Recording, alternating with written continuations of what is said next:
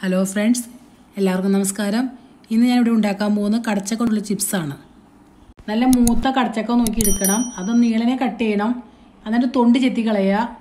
ചെത്തി കളഞ്ഞ ഉള്ളിലുള്ള വേസ്റ്റാണത് ചെത്തി കളഞ്ഞേക്കണത്. ഇതിന്റെ രണ്ട് സൈഡും കട്ട് ചെയ്തേക്കണം. നമുക്ക് കറി വെക്കാൻ എടുക്കാം. ഇതുപോലെ കട്ട് ചെയ്തെടുക്കുക ഫ്രൈ ചെയ്യാൻ വേണ്ടി.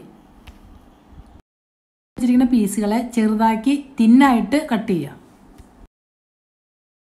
ഇനി ഒരു കടായി അടുപ്പത്ത് വെക്കുക. എന്നിട്ട് അതിലേക്ക് ഓയിൽ ഒഴിക്കുക. എന്നിട്ട് നമ്മൾ തിന്നായി വെച്ചിട്ട് കട്ട് ചെയ്ത് വെച്ചിരിക്കുന്നത് അതിലേക്ക് കുറച്ച് വാരിയിടുക നമ്മൾ കടച്ചേക്ക് ഒരുവിധം പാകായിട്ടപ്പോൾ ഉപ്പ് തളിച്ചു കൊടുക്കുക നമുക്ക്. പോലെ ഇപ്പം നമ്മുടെ കടച്ചക്ക ചിപ്സ് റെഡി ആയിട്ടുണ്ട്. അപ്പം നിങ്ങളത് എല്ലാവരും ട്രൈ ചെയ്ത് നോക്കുക. ഇഷ്ടപ്പെട്ടാൽ ലൈക്ക് ചെയ്യുക ഷെയർ ചെയ്യുക.